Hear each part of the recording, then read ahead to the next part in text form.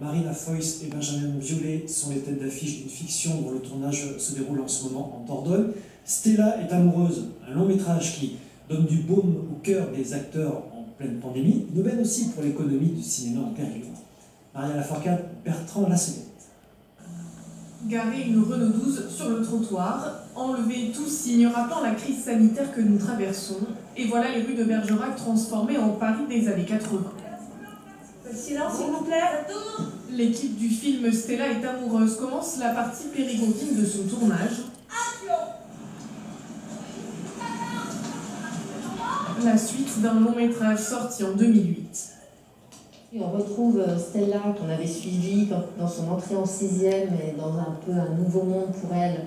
Là, c'est la fin de son école, justement, elle va passer le bac et elle, est amoureuse et c'est un peu, voilà, c'est une chronique de, de, la vie des adolescents, mais plutôt dans les années 80.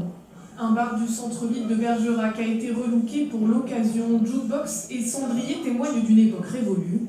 Repoussé de quelques semaines, le tournage est finalement lancé malgré les contraintes sanitaires, pour le plus grand bonheur des deux têtes d'affiche du film. On a une chance inouïe dans le milieu du cinéma de pouvoir travailler, c'est quand même c'est de faire notre passion et euh, donc là vous nous prenez un moment où on est ravis.